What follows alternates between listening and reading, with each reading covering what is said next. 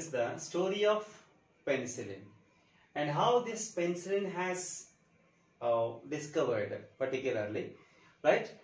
This is uh, a little story is there behind the, the um, penicillin antibiotic has introduced. Nothing but it was the time of the First World War.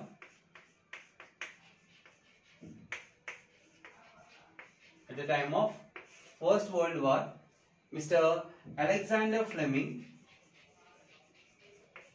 Alexander Fleming is a doctor who worked for the uh, soldiers who got uh, having the injuries and is treating such kind of uh, uh, soldiers in the world war right? And he noticed that many soldiers were dying due to the infections of bacteria.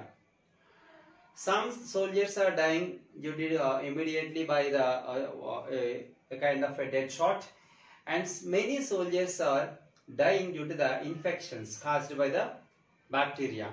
So that he is one side he is giving the treatment to the soldiers injured soldiers and also in the another side he is discovering the medicine against the, the causing of bacterial infections right?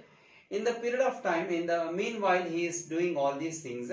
He identified one kind of thing is uh, in a petri dish in a petri dish containing in a petri dish containing a, a bacteria this is all the bacteria present over the petri dish. Petri dish. And in the middle of the petri dish some fungus has formed. Some fungus has formed.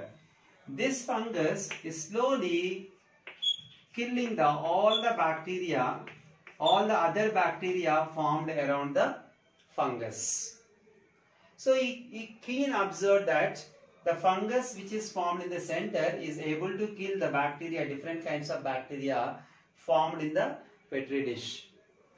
And he extracted some material from the fungi. Extracted the material from fungi. Nothing but penicillin. Penicillin he was extracted and why he can named as a penicillin because the name of the fungi is penicillium notatum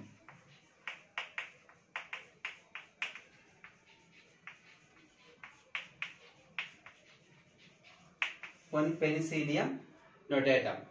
So he extracted the, the kind of the materials from the penicillium notatum so that he named as a penicillin. But this was done in the year 1929. But after many years later, in 1945, he was awarded with the Nobel Prize. Right? For his the hard work he was awarded with the Nobel Prize in the 1945 and then and there onwards uh, the soldiers and the many people in the world itself around the world which are infected with the bacteria by taking penicillin they will be cured this is what a great great invention a great discovery and uh, the things done by the Mr. Alexander Fleming and he was uh, awarded with the Nobel Prize in the 19 45 right